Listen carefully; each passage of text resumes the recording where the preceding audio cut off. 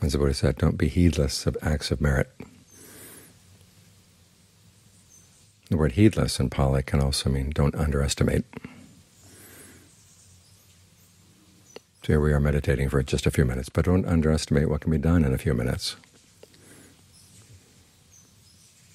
You get the mind to settle down. You never know when the insights are going to come. Sometimes the hunter goes out and has to sit in the forest and very quiet for a long time before anything comes along. Some other times he goes out and within a few minutes he's got what he wants. So you never know. So try to be earnest in even the small amounts of meditation, the little tiny times you take for yourself, little meditation breaks you take throughout the day. Sometimes some interesting insights can come especially because you know you have only a little bit of time, you should be extra meticulous with yourself. Even the slightest little movements that would go out and think about something else not related to the breath, you've got to cut them off right away. Remember the Buddha's instructions for how to be in the present moment. It's interesting that when he talks about pulling all your attention into the present moment, it's always in the context of death reflections.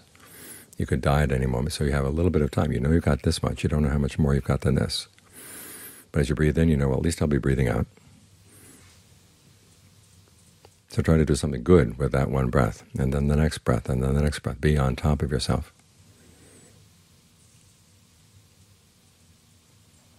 This is Ajaan Lee makes the comment, even little things, if they're really good, can be worth a lot more than just a lot of garbage.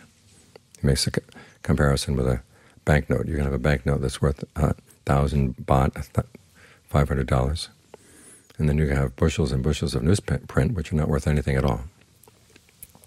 It's paper, but there's a difference to the quality, and there's a difference to the intentness that's put into that piece of paper. In the same way with the mind, you apply your intentness to the mind. It heightens the quality of the mind. You pay full attention to what you're doing. That moment is worth a lot more. So don't underestimate the little times of meditation, the little meditation breaks you can take throughout the day. Sometimes as you're slipping in into concentration, you notice that something you didn't notice before. Or as you're in concentration, things will come up that you didn't notice before. So always be primed. The game you want can come at any time. So always be alert, even if it's just for a little while you know that something can be accomplished by it.